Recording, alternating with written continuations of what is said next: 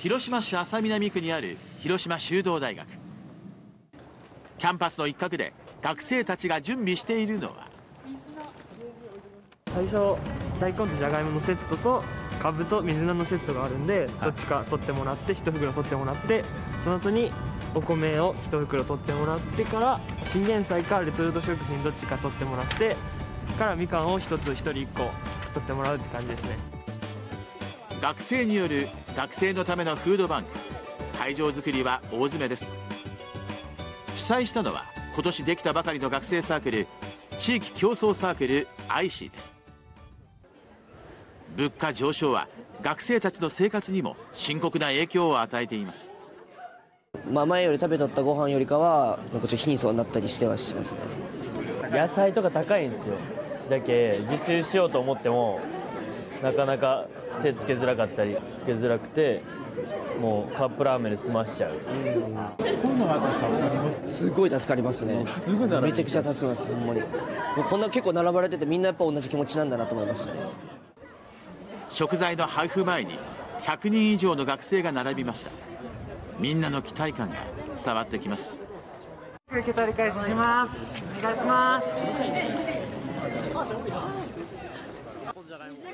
食材の受け取りが始まりました。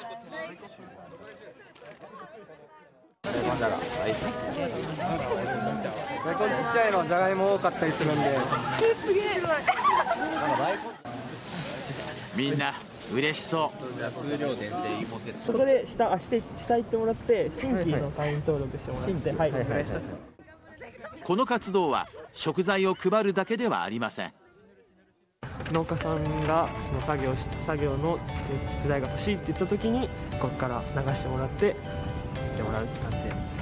だから食材とかもらうけど、お返しはああるよ。そうですそうですそうです。これは QR コードを読み込んでエントリーすると食材を提供してもらった農家や企業が人手不足の際にアルバイトやボランティアの募集を発信できるというシステムです。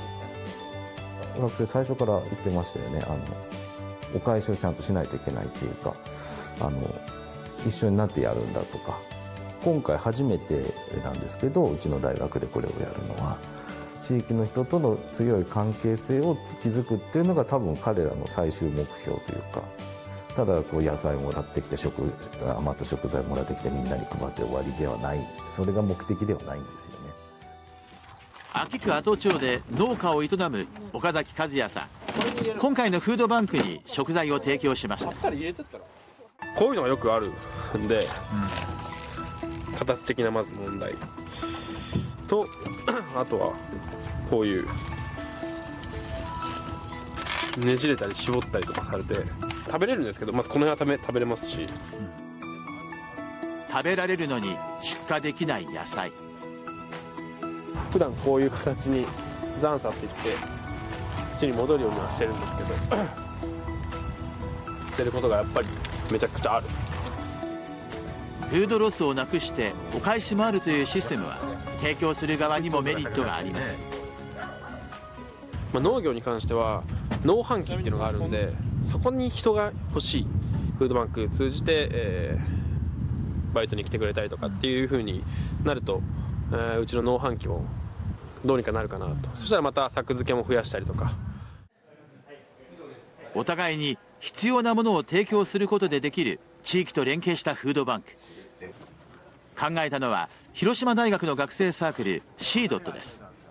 中心メンバーの一人広島大学4年生の江口光さん。修道大学とコラボして準備を進めてきました。めっちゃたくさんいただいてちょっとみんなが喜んでくれるといいなっていう感じです。修道の大学生の皆さんがすごい頑張ってたんですけど学生同士のつながりっていうのもこれからできていくかなと思ってます。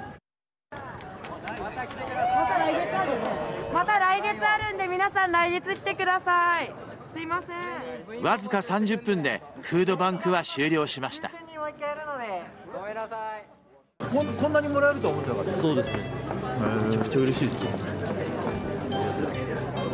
お米までやっぱこういうのって定期的にあった方がいい。さっき聞いたら12月の中旬にまたやるって聞いたんで行きたいです。広島修道大学の学生による学生のためのフードバンクがこの日スタートを切りました。もっと食材用意してまた喜んでいただけるようにこちらも準備しないとなって思いました近隣のスーパーさんにもこの活動をちょっと知っていただけてもし協力していただけるのであればはい。次はもっと来るぞ。はい。口コミで広がる 地域の役に立ち学生にとってもメリットがある持続可能なフードバンク。大学生たちが生み出した知恵と行動力の輪が今広がり始めています